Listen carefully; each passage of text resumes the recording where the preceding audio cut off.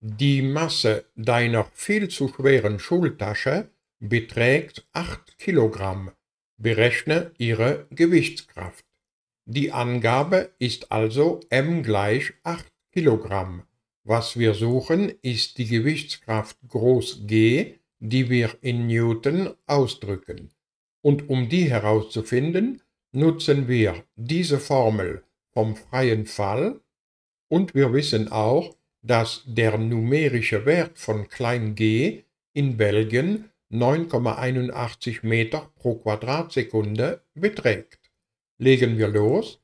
Groß G gleich m mal klein g, also gleich 8 mal 9,81.